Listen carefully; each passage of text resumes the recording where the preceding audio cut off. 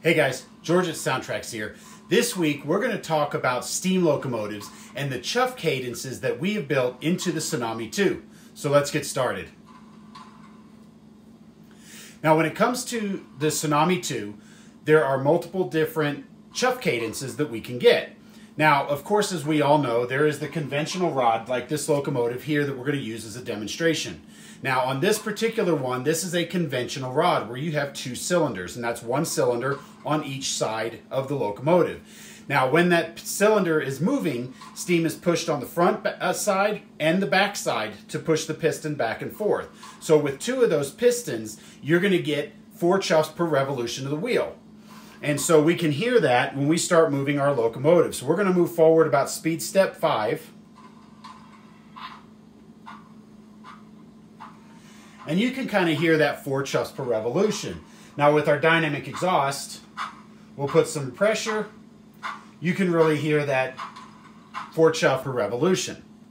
Now, when it comes to the Tsunami 2, we have two alternate different chuff cadences. Now, the first one we're going to talk about is the three cylinder.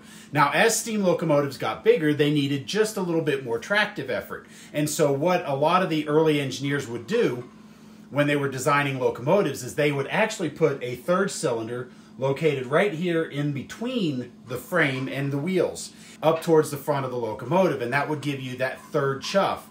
Now with this it had to be offset so you get a little bit of a chuff chuff chuff chuff chuff chuff sound. Now with the Tsunami 2 we can reproduce this. Now what we're going to do is we're going to take CV112 and we're going to set it to a value of 24. Now that is going to be 8 for the power reverse, plus 16, which enables the three-cylinder chuff. So on my throttle, I'm going to set CV112 to a value of 24. Now, let's move this same locomotive forward at speed step 5. Now you can kind of hear it a little bit, but let's go ahead and put some resistance here so you can hear that with the chuff.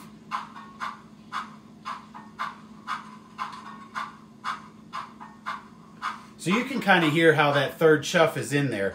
Now it really shines when we go faster, so we're going to move forward here at speed step 10. And you can kind of hear how that's changed a little bit. Now, when it comes to an articulated locomotive, there's actually two different types of an articulated locomotive. The first is what's called a compound locomotive. And what that does is in the rear set of cylinders is where the high pressure steam is injected to force the wheels around. Now, that steam is reused and then cycled up to the front cylinders. And that's usually why you'll see those front cylinders much bigger is because it's a low pressure steam and it's injected in there and it also helps the tractive effort. Now once that's vented out, you still only get the four chuffs per revolution. Now in the case of a simple articulated, this is where both sets of cylinders will receive fresh high pressure steam and it maintains the most tractive effort. Now to do this in CV112, we're going to take our default value of 8, which again is for our power reverse, and we're going to add 128. And that's going to tell the decoder that it's going to create an articulated chuff.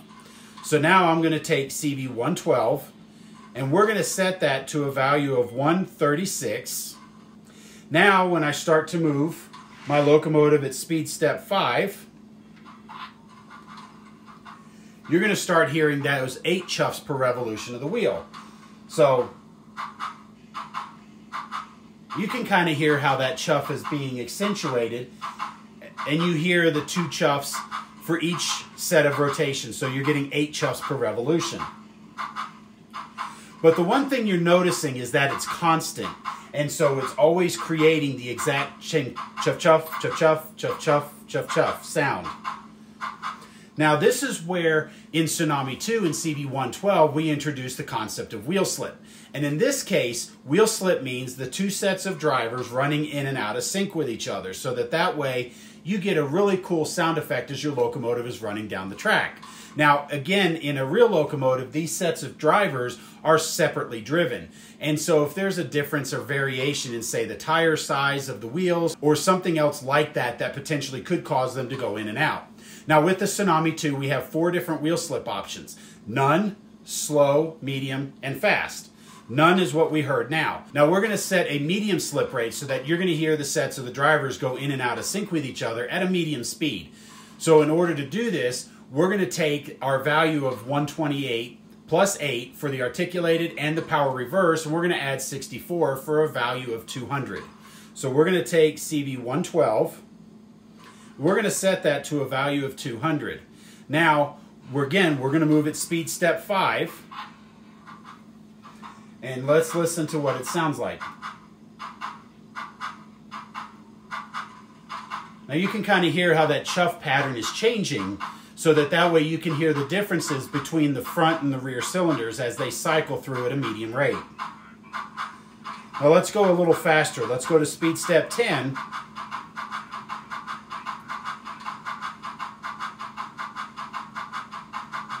You can really hear how that sound effect is changing the chuff.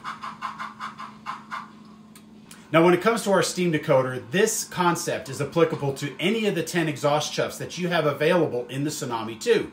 So if you're modeling a Shay, for example, with three cylinders, you can actually enable the three-cylinder chuff and the Shay, which is the geared locomotive exhaust chuff.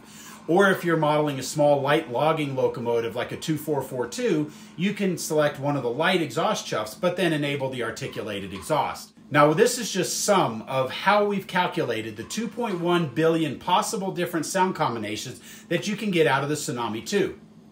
Now, for more information, please visit our website at soundtraxx.com and be sure to check out the user's guide where you can find all of the cool things that you can do with our Tsunami 2 decoder.